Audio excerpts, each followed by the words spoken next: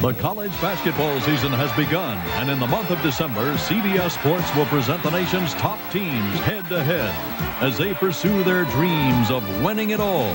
You can follow the action every week as we take you down the road to Lexington, through the regular season, into the NCAA tournament, the Final Four, and the National Championship. These are the games you'll be seeing in December on the home of the NCAA Championship, CBS Sports.